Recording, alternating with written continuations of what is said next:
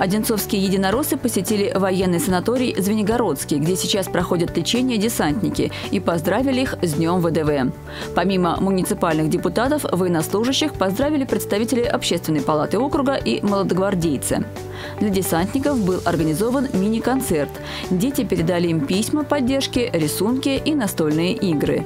А единороссы вручили военнослужащим подарки.